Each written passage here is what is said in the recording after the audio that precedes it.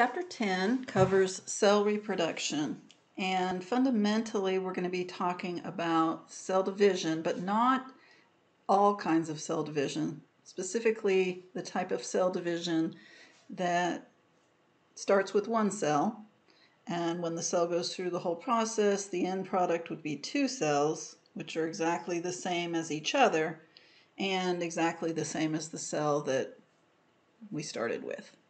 And so that's the kind of cell division we'll be talking about in chapter 10. The picture here is showing cell division of a sea urchin, starting with the fertilized egg and then, well, they don't show the fertilized egg, but this uh, first picture on the left shows the single cell, the, the fertilized egg that has already gotten most of the way through the first division, and you're seeing that the first, what we call um, cytokinesis, separation of the one cell into two distinct cells. And that process continues. Each cell, each product cell from a, a series of events of cell division becomes the initial cell for another round of events. So this is a cycle. And when each cell divides again and again and again, you end up with a multicellular embryo shown in the middle. And then those cells continue to divide and divide and divide until you have so many cells that you don't need a microscope to see it anymore. You can see the whole organism in the adult stage on the far right.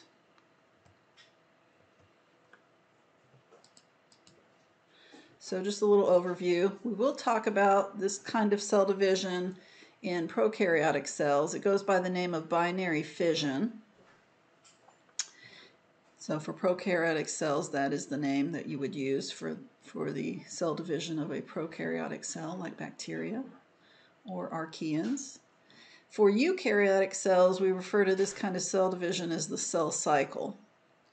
And part of the cell cycle, although not the entirety of it, is something called mitosis. And so sometimes when we refer to this kind of cell division, we just say mitosis although mitosis is part of the larger process called the cell cycle. But it's pretty typical to use those terms interchangeably um, if we're not being too precise. Um, we talk a little bit about what causes cancer because cancer is a malfunction of the cell cycle in a multicellular organism. And we're also going to learn some terminology relating to chromosomes. So you probably remember the structure of a prokaryotic cell, at least the basic parts of the prokaryotic cell. They all have ribosomes, remember, that make, that build proteins. They all have a chromosome that is wound up in, in the cytosol or in the cytoplasm. And we usually call that region of the cytoplasm the nucleoid region. And they have a cell membrane, the plasma membrane, and they have the cell wall. And then you may remember there's some other parts that may or may not be present depending on the kind of bacteria, the kind of prokaryote. And this would also be true of the archaeans as well. So when a bacterial cell, or archaean as well, I put bacteria here, but when prokaryotic cells go through this kind of cell division, we refer to it as binary fission. So um, there is no sexual life cycle in bacteria. They do not produce eggs and sperm. And so the reproduction of the whole organism, since the whole organism is only one cell, the reproduction of the whole organism is simply the um, division of the cell and making two cells. And we say that this kind of reproduction is clonal because clones are two things that are identical to each other. And so you start off with one cell, it goes through all these steps, you end up with two cells, but they're identical to each other, they're clones. So I use that word a lot in the lecture.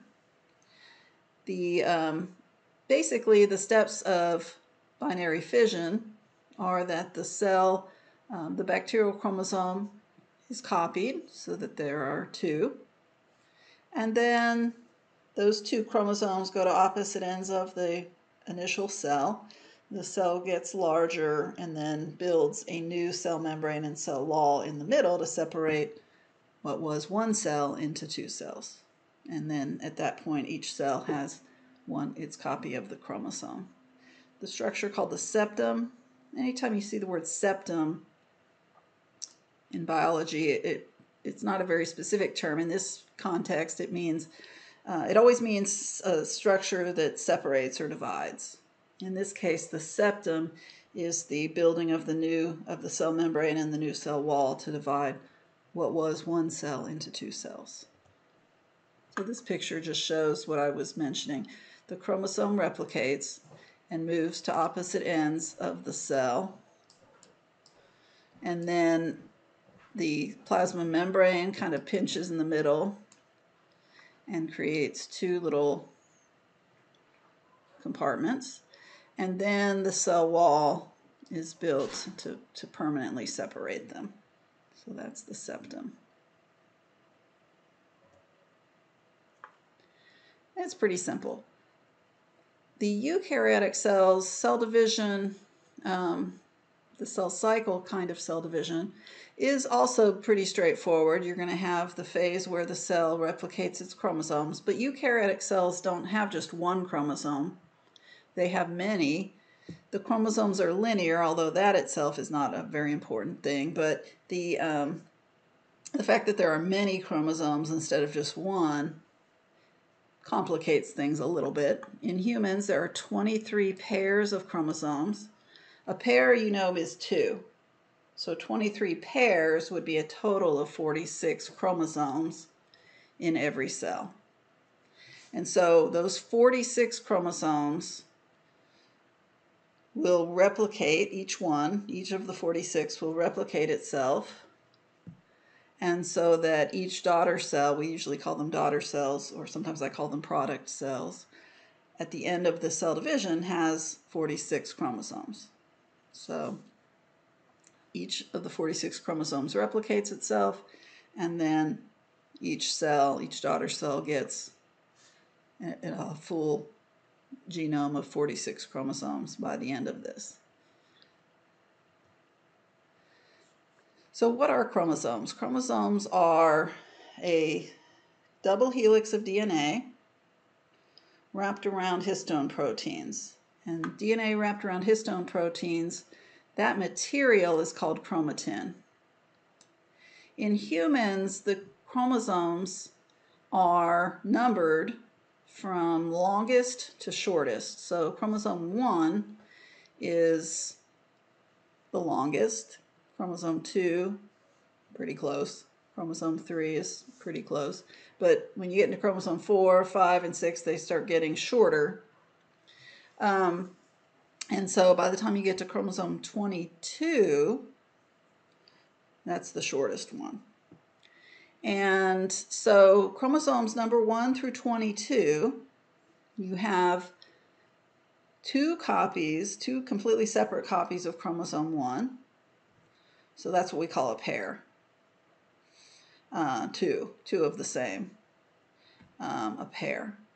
Two copies of chromosome 2, which are a pair um, two copies of chromosome 3, etc., all the way up to chromosome 22. So two copies of each of those chromosomes is 46 total chromosomes. So for chromosomes that are numbered 1 through 22, you have two each of each of those numbered chromosomes.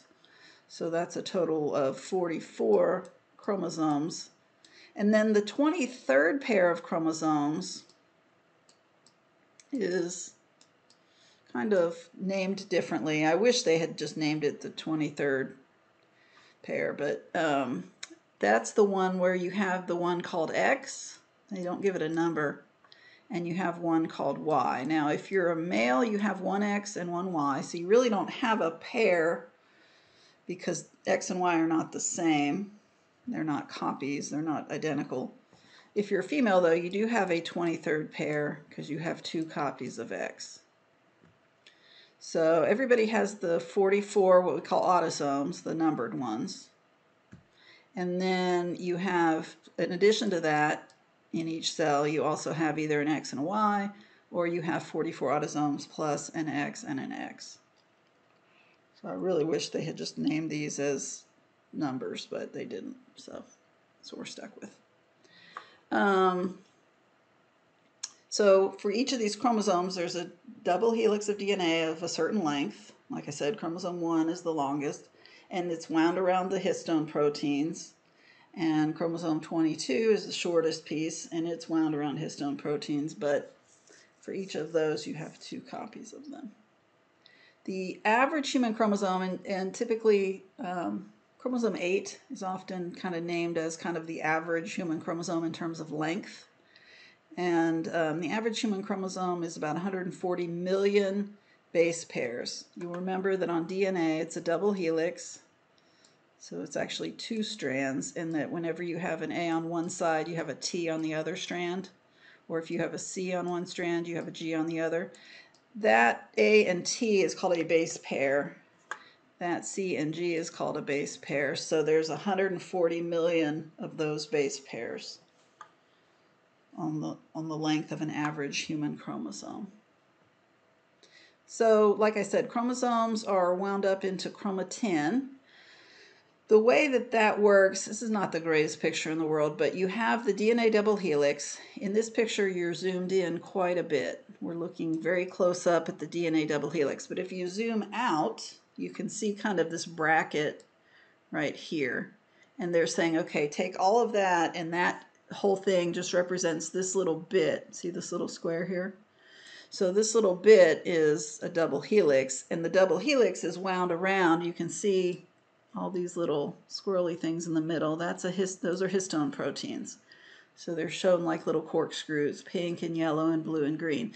So those are histone proteins. So the DNA is wound around the histone proteins.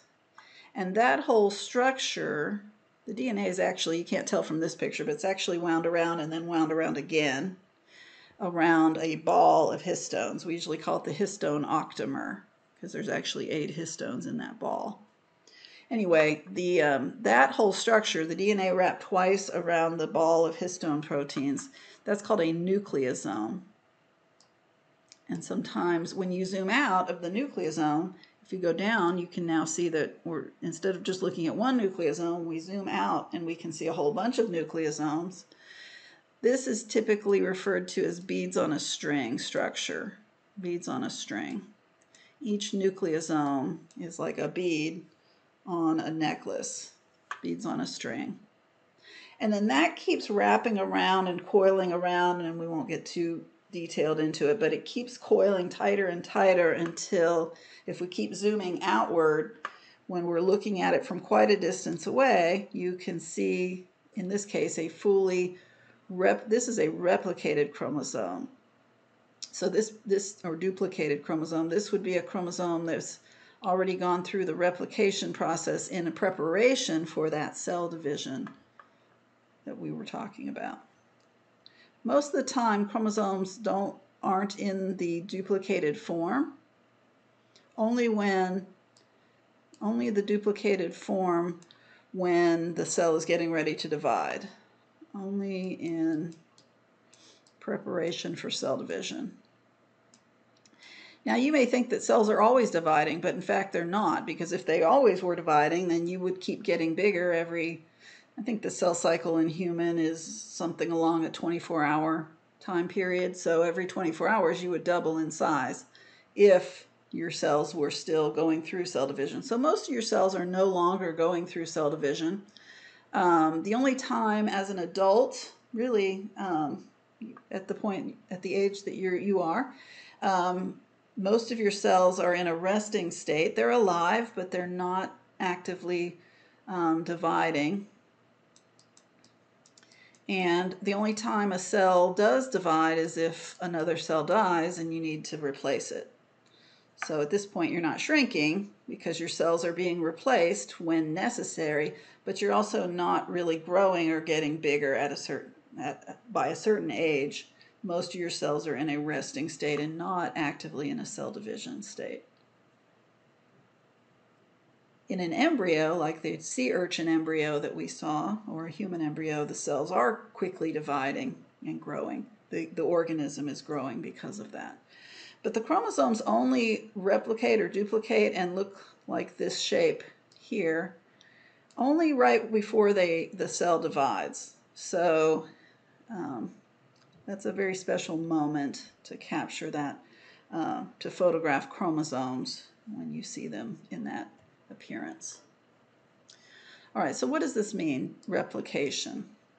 We are going to look at replication, the process, in detail, but that's in a later chapter.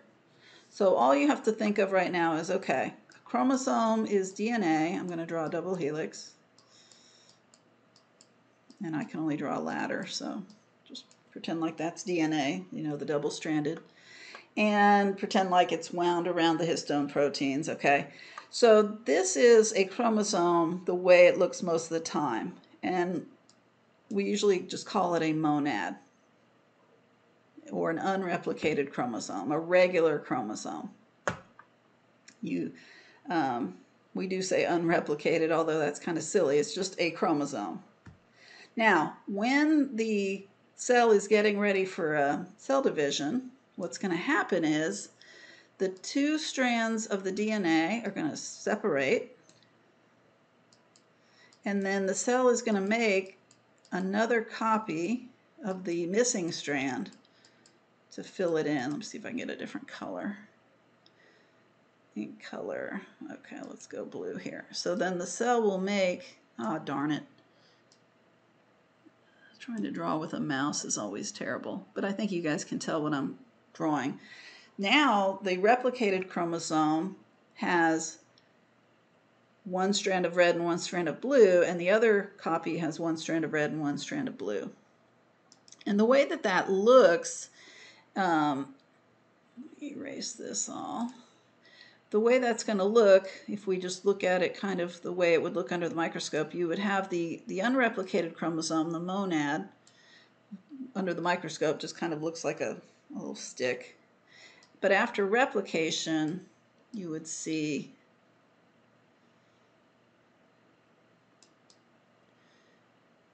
and I'm telling you, I bought a $100 mouse and I'm still getting this silly issue when I'm doing my drawings.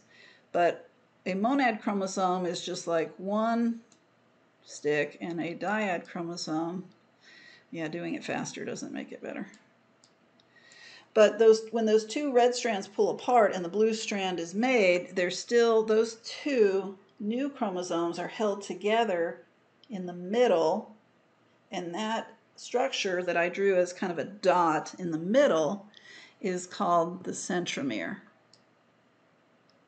So when a chromosome is replicated, the two new chromosomes are held together in the by the centromere. All right. And the centromere is this dot right here in the middle that I drew. And that holds those two chromosomes together. So when the when the centromere is holding the two chromosomes together, and guys, you have to forgive me for this because I didn't make up the language. I'm just telling you how it is. When a chromosome is in the unreplicated form, when it's just, you know, this thing, that's a monad chromosome. And there are certain times in the cell's life when the chromosomes will always be monads. And then after the, when the cell is getting ready to divide, it replicates that chromosome and then all of its chromosomes appear in the what we call the dyad form. So the monad is the unreplicated chromosome, the dyad is the is a replicated chromosome, and it really is two chromosomes, but when it's held together, this is really important, when the two chromosomes that are identical are held together by that centromere, we refer to the whole thing as one dyad. And I'm sorry about that, but they didn't call me when they'd made that decision.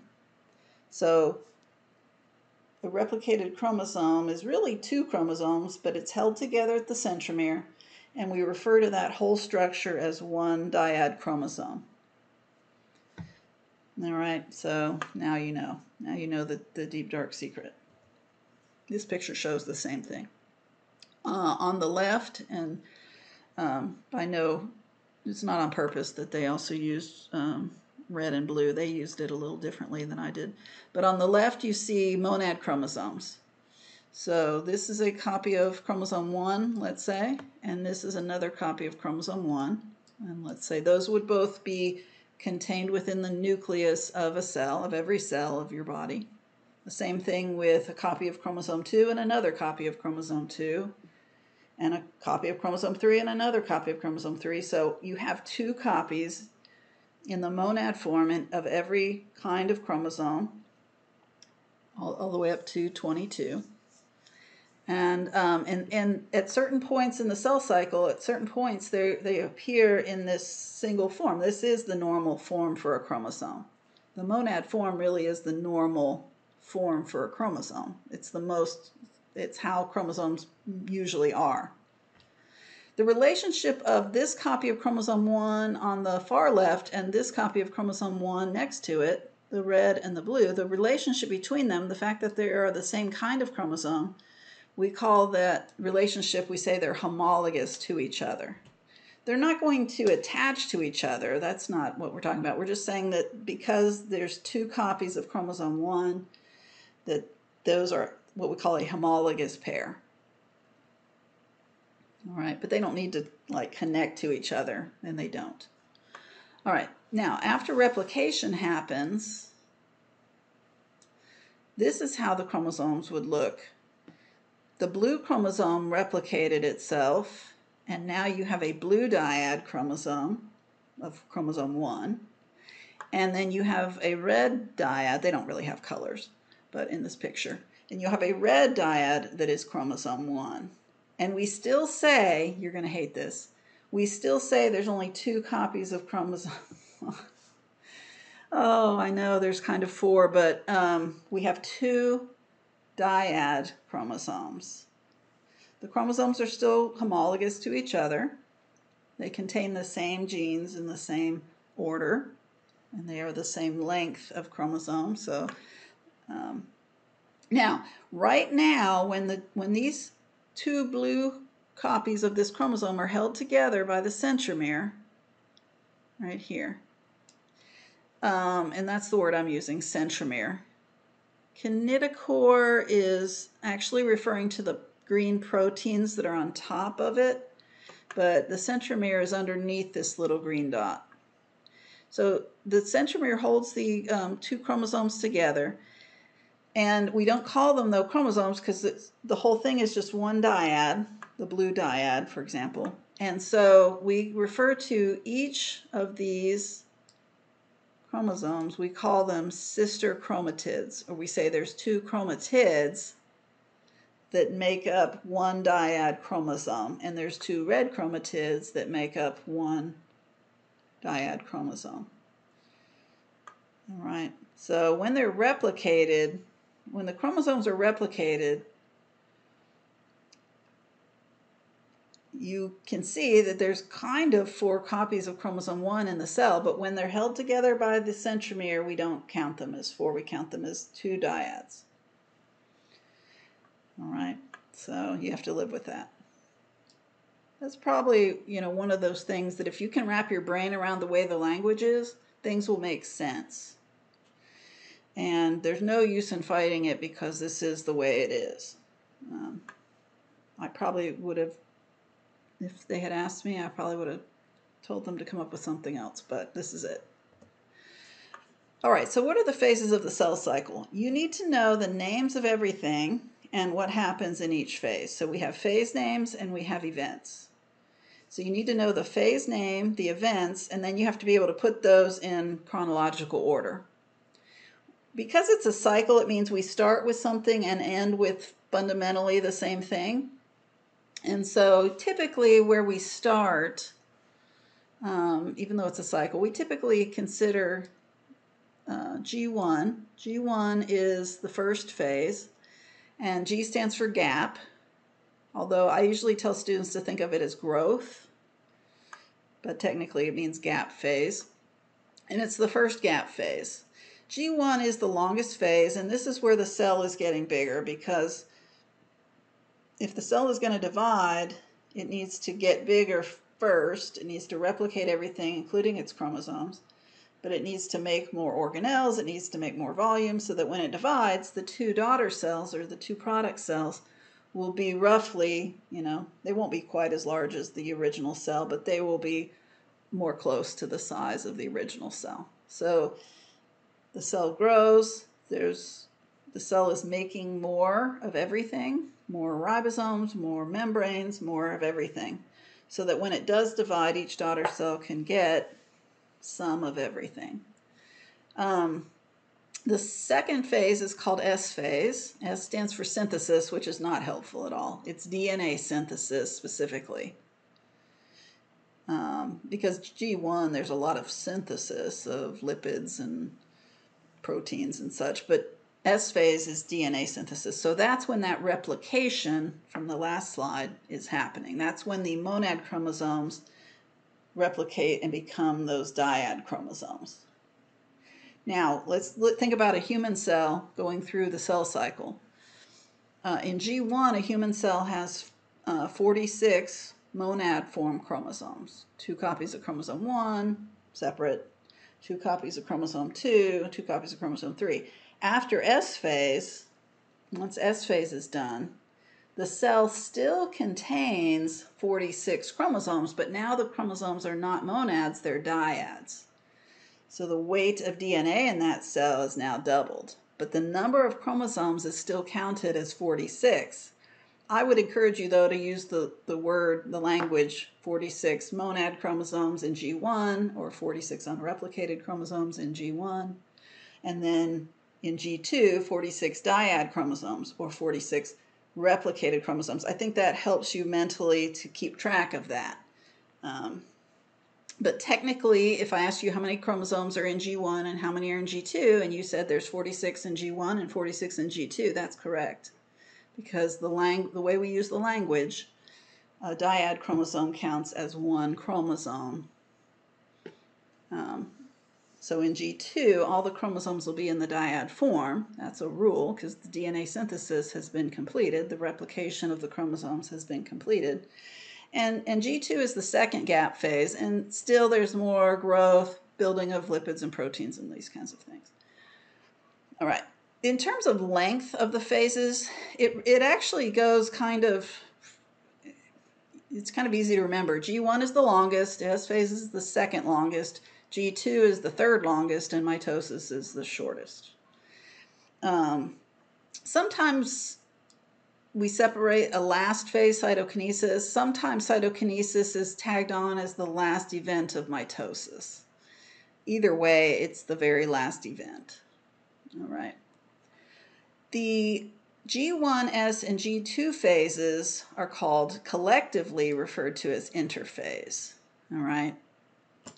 Um, and so collectively, when you add the, the length of G1 plus S plus G2, that ends up ma making up like 90% of the time that a cell is going through the cell cycle, about 90% of the actual time is spent in interphase. And it's not that interphase, nothing's happening, it's just under a microscope, you really can't see much going on in the cell in interphase. It's not visible um, using the kind of microscope that you would use um, in a student lab, for example. But when the cell gets to M phase, M stands for mitosis. And remember, I told you that sometimes this whole thing is just called mitosis, although that's really kind of sloppy. But in M phase, the mitosis portion of the cell cycle, this is when you can actually see things happening if you look at, a, at cells under a microscope. so it's kind of the action, you know, all the action is in mitosis that you can actually see. And mitosis really has to do with the, the division of the nucleus. So this is the nuclear division, is mitosis. Cytokinesis is the cytoplasm division. So you have the nuclear division and the cytoplasm, the division of the cytoplasm, which is the rest of the cell parts. All right. So G1, S, G2, and we're not going to get more detailed than these descriptions here G1 is growth phase, building more membranes, building more proteins, building more ribosomes. It's the longest phase. Replication of DNA is what happens during synthesis, so that's the where the chromosomes go from being the in the monad form to being in the dyad form. And then in G2, it's kind of more of just what you saw in G1, just more building of new organelles and building of more everything to get ready for the all the action, which really comes in M phase and then cytokinesis. So typically what you see in eh, pretty much every textbook is this chart, which I call, uh, is it a pie chart or is it like a clock? I'm not sure. But it's drawn um, in a almost in a pie chart way to show you how much time is spent, and that's why I kind of see it as a clock as well. So whatever it takes, however much time it takes for the cell to get from the very beginning of the cycle to that same place in the next cycle, one revolution of the cell cycle, uh, whatever that amount is, and it does vary a bit in uh, depending on the type of cell and the species and such. But in humans, it's like say 20 to 24 hours. So it's almost like a clock, clock, um, in a sense. And um, but anyway, the the biggest piece of the pie, the most of the time is spent in G1, in G1, the chromosomes are in the monad form. S phase, that's a pretty significant piece of the pie. And, and all three, G1S and G2, are all marked as interphase. That's correct. And then in S phase, that's where your chromosomes become in the dyad form. Uh, that's when that happens. And so by G2, all the chromosomes are in the dyad form. We don't, the number of chromosomes doesn't change technically, but the form of the chromosomes changes. And that's in preparation for the mitosis and the cytokinesis. All right, and you can see mitosis and cytokinesis are a pretty slim um, segment of the pie. Usually if we're starting at the beginning of G1, we think of the cell that starts G1, we usually call it the parental cell, although that can be a little confusing. I'm not talking about like your parents. Like, no. I'm just saying that for this cycle, that cell that begins G1 is given that name parental cell. And at, by the end of the cycle, there will be two cells, and those cells are called daughters. So the parent had two daughters. Actually, the parent split in half and became the two daughters. But whatever. Um, but it doesn't have anything to do with like your parents. It's just that cell, it's called the parental cell when it's at the beginning of the of the cell cycle. And by the end, it's called a there are there will be two product cells, which would be sometimes called daughter cells. Um, sometimes the starting cell, I've seen it maybe less likely or only in certain contexts, occasionally called the mother cell and then the two daughter cells. There's a there's a certain feminization of the language for whatever reason, I don't know. But anyway, that's just what whenever you end with two daughter cells, each of those daughter cells is only a daughter cell for that iteration of the cycle. If those daughter cells then go into G1 and start dividing themselves, then they are renamed parental cells for the next iteration of the division. So this terminology is very relative to any one turn of the cycle. All right, so what happens during M phase, mitosis? You have karyokinesis. Karyokinesis means division of the nucleus. All right, that's division of the nucleus. And cytokinesis is division of the cytoplasm. And so division of the nucleus um, typically is divided into either four or five phases. Um, prophase, the way I learned it was prophase, metaphase, anaphase, and telophase when I was in school. And then they, somewhere along the line, and I don't even know who they are, inserted and it became somewhat accepted, except for old old professors like me really kind of hate it but they added in another one called prometaphase. I mean, this is it's just humans' attempt to divide a what is really a continuous process, divide it into chunks so that we can study it and learn it, have some chance of learning it. Um, so it's really more for our ability to remember it. Um, the cell doesn't draw these lines. It, it is a series of events and it continues from the beginning of prophase to the end of telophase and the cell doesn't have these um, these different groupings. But we, we do to try to help learn it. So what you want to do as you're studying this is um, memorize under each of these phases. So this is drawn in chronological order. So prophase is first, then prometaphase, then metaphase, then anaphase, then telophase. And then after all of that, the very last step, whether you consider it a sixth part of this or you consider it a separate phase, it doesn't matter to me. Cytokinesis, that's where the cell is like officially divided into two daughter cells. What you want to do is um, memorize the events that go with each. And um, anytime they say kinetochore, you are welcome to replace that with the word centromere because I'm not going to use kinetochore. There's reasons for that. I don't. I didn't get a chance to argue with the uh, with the authors of your book, but let's put centromere. Um, I'm not going to distinguish too much between that.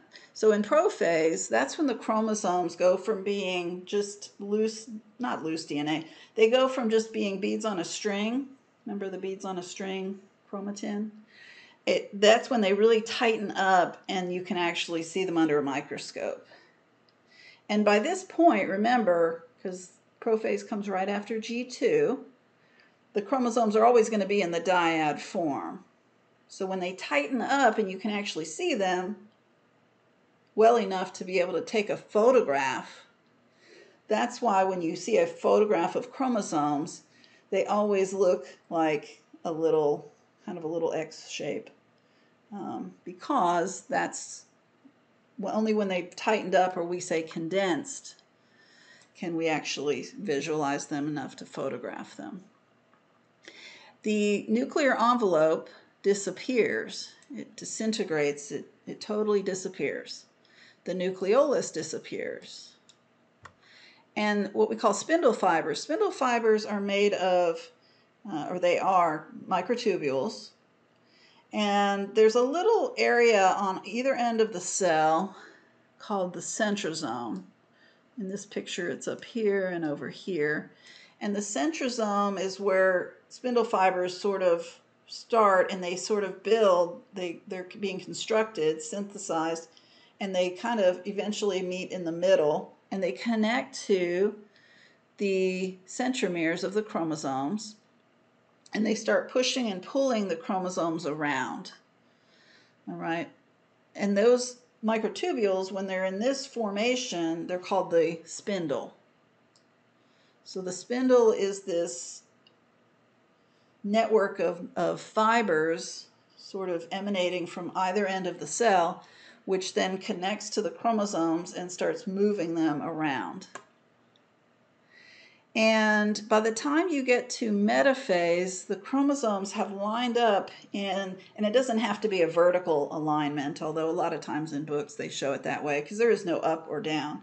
You can rotate this cell any way you want but the chromosomes line up more or less in a linear uh, arrangement in what we call the midline of the cell or the equator of the cell or usually we call it the metaphase plate of the cell but it's the equator or the midline right in the middle of the cell and the way they, they align one fiber let's say over here from the blue side attaches to one sister chromatid, and then a fiber from the other side attaches to the other sister chromatid. So for each dyad, there's a fiber, a microtubule, a spindle fiber attached to the chromatid on the left and to the chromatid on the right, and those fibers are coming from opposite ends of the cell. And so what's going to happen, that's true for all of these, what's going to happen is in the next stage, anaphase, those fibers are going to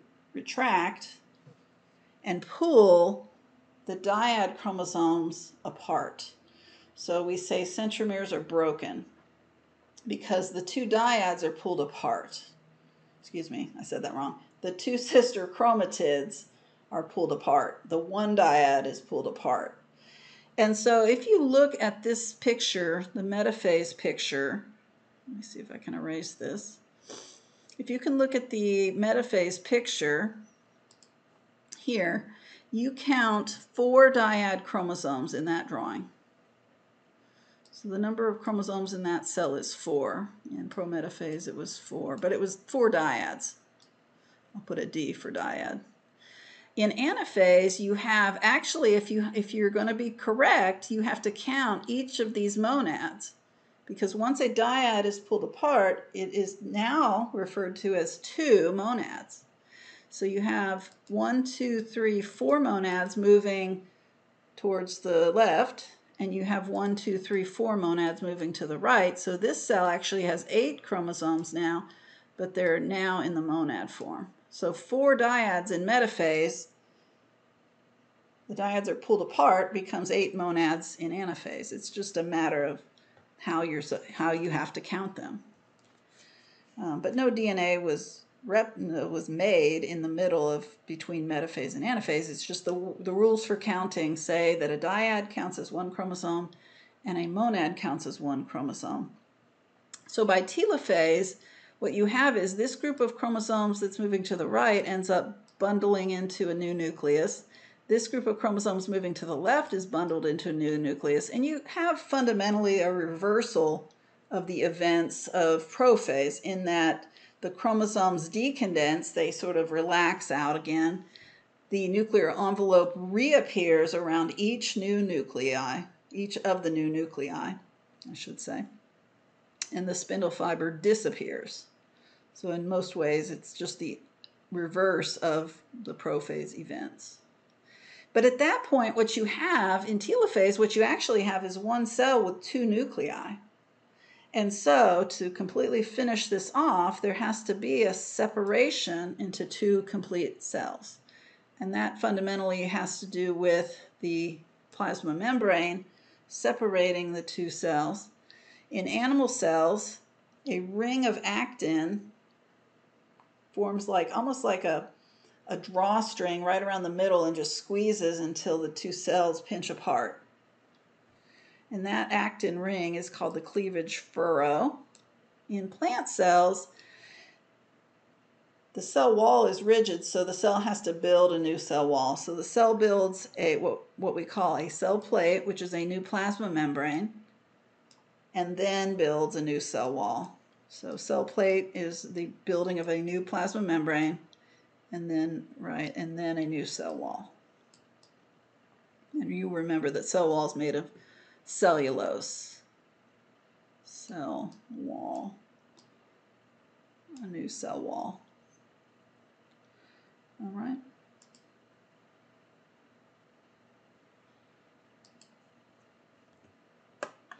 All right, so here's a little more detail on cytokinesis. All right, there's a ring of actin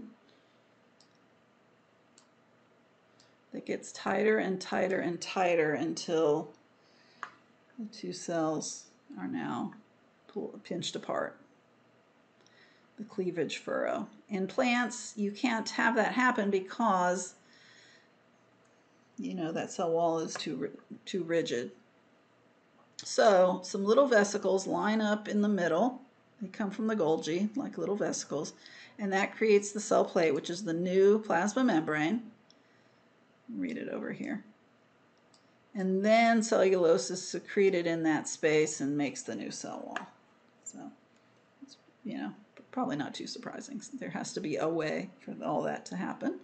And at that point, then, just for a moment, you have two daughter cells.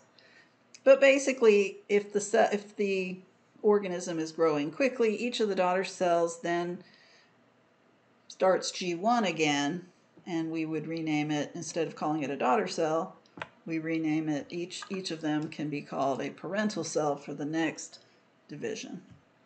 Not, like I said, not all cells are actively dividing. So if a cell divides and then only once, and then goes into the resting stage, then it doesn't have a name, it's just a, a regular cell.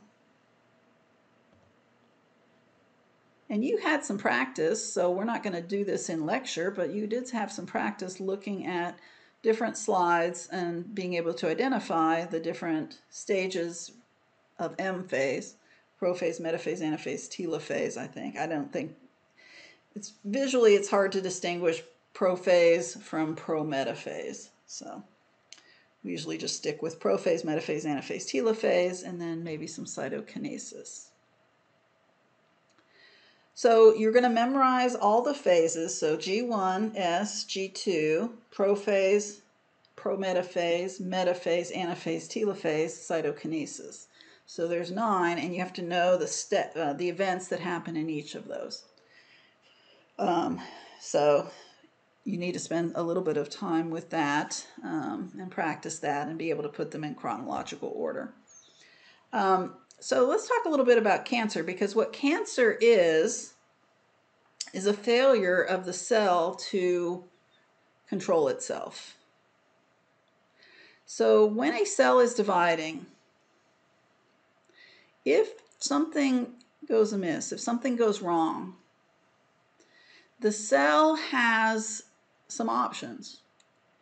It can put on the brakes and stay in a certain phase longer than normal in order to buy some time to correct the problem. Or it can kill itself, and that's called apoptosis. Apoptosis, A P O P T O S I S. So that I mean that makes sense, right? Either the cell puts on the brakes, so to speak, and stays in the same phase for longer than it should in order to try to correct a problem, or if it realizes that it cannot correct the problem, what should happen is the cell should die, should kill itself, cell suicide, apoptosis. Uh, I think now we call it programmed cell death. Same thing. So the cell, the cell dies on purpose.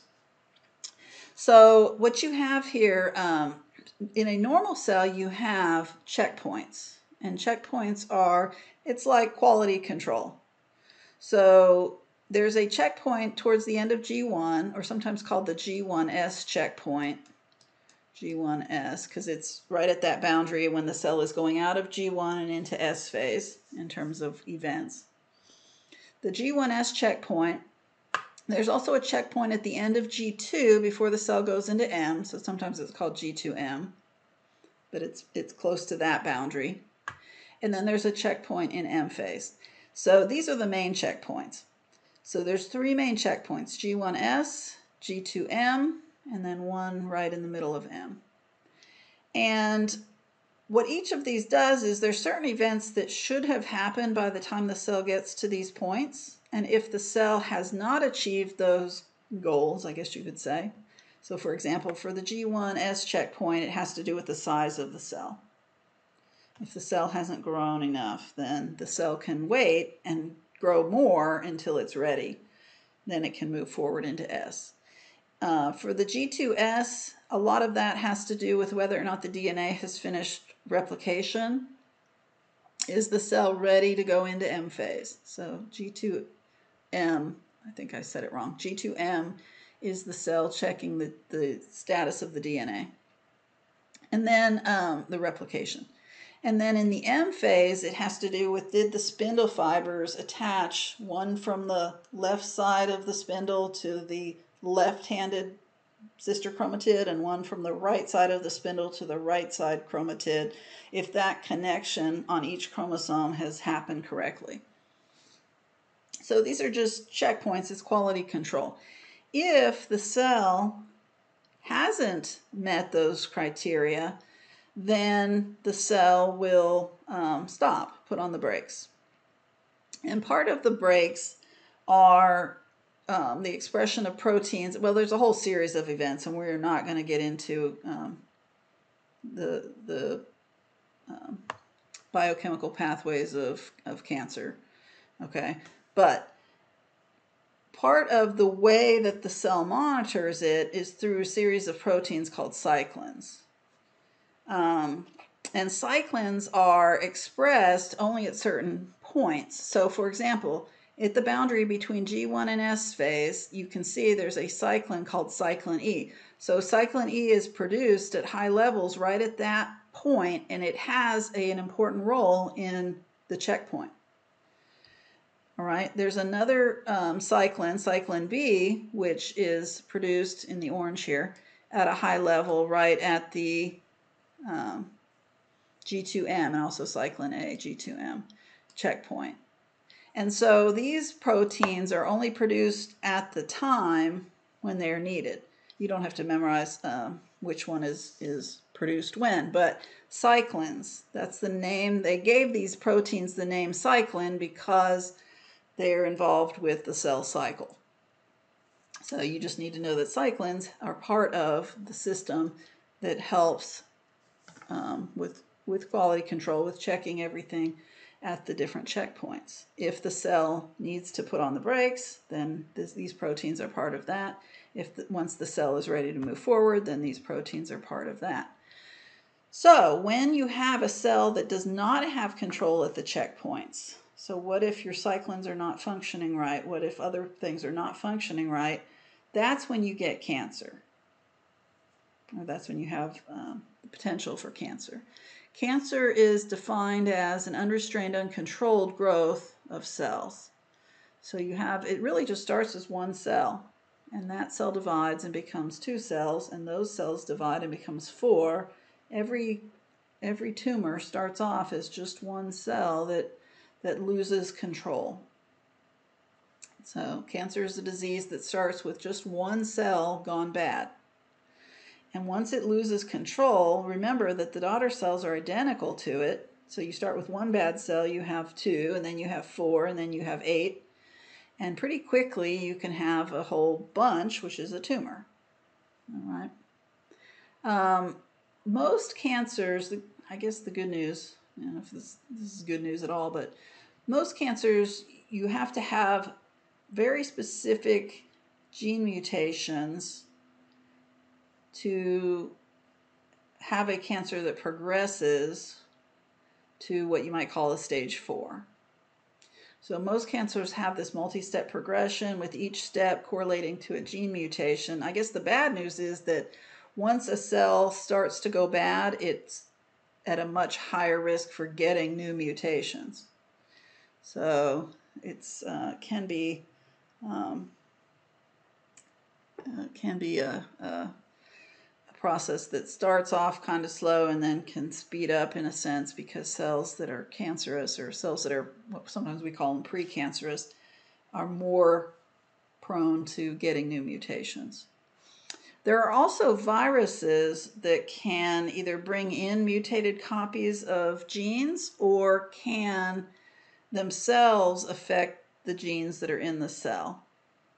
The virus can affect how the genes in the cell are being um, expressed. So, so there are viruses that are uh, that can initiate cancer. Um, one that you may be familiar with is um, HPV, um, but there's many others. Um, but so, um, so it's either just a mutation that happened in one cell, the normal way. There's actually about two thirds of all cell mutations just happen as just an accident. It's not because you, um, you know, didn't eat organic food and got too much sun exposure. Most, they think that, that about two thirds of all mutations in the cell are just, just mistakes. Um, but there are chemicals and radiation and things that can that cause about one third of all mutations. And, um, and then the viruses, um, they only cause certain types of cancer. So those are usually associated with certain types of cancer. And one of the genes, other than the cyclins, one of the genes that is associated with, um, it's typically one of the steps in the progression of cancer is called P53. Normal P53, if you have DNA damage or any kind of abnormality, um, P53 usually comes in to stop to put on the brakes. Cell cycle arrest means stop. And then if the if the problem can be fixed, then it helps with that. Or P53 initiates apoptosis, which is the programmed cell death, the, the cell suicide I was mentioning. So what if you have a mutation in a cell of the P53 gene? That means you P53 is not doing what it normally does. That means that the cell cannot initiate apoptosis and the cell cannot fix the problem. So what can happen is then that cell starts dividing and getting going bad. So P53 mutations are uh, commonly found in um, lots of um, types of cancer. All right, so I gave you a little bit of um, information about cancer, not too much, and that's on purpose. It's a very complicated topic. But make sure you know the names of all the phases and what happens in each phase and what order that those go in. And then a little bit of the terminology of chromosomes. What's a monad? What's a dyad? Just some, just some fundamentals on that.